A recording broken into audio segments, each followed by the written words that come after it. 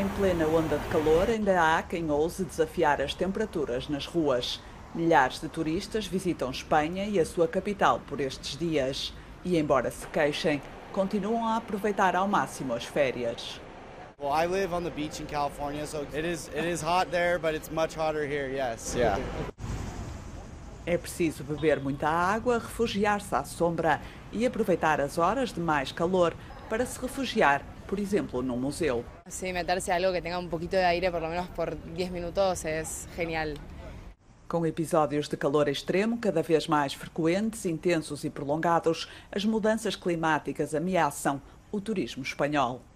Los turistas eligen tradicionalmente los destinos mediterráneos por el sol y las buenas temperaturas, pero según el último índice de percepción climática, los visitantes de Francia, España y Grecia han mostrado su insatisfacción por un calor que supera todas sus expectativas. Segundo dados da European Travel Commission, o número de pessoas que espera viajar para a região do Mediterrâneo de junho a novembro já caiu 10% em relação ao ano passado. La gente está esperando a saber hasta el último momento eh, no ya dónde va a llover, sino eh, pues esas temperaturas extremas dónde van a llegar para poder adaptarse.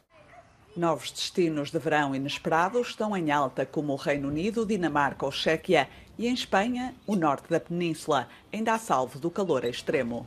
Pues estamos viendo cómo la gente llega y te dice, en muchos casos, bueno, que además de, de a disfrutar del destino, llega a dormir, porque quieren encontrar un sitio con ese fresco de las, eh, de las noches del norte, ¿no?